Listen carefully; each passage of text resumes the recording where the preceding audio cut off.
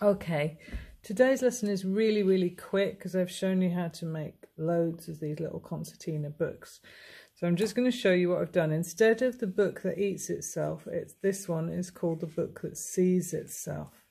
So it starts with a chick, and then the chick sees a worm, and then there is an earwig, and a spider. And I've done this book weirdly because I've cut holes and then I've put the eyes behind so they fit in.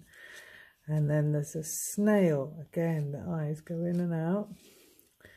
And then in the end, there's the mummy chicken. So that's one little book on that. But if you open it out, you can see it's all holes. But behind it, if I show you the other side, there's lots of little eyeballs.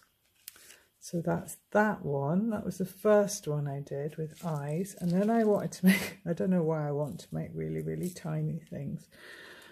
But I wanted to make a little tiny book. So this is absolutely miniature. And I thought I'd do it on mini beasts or insects.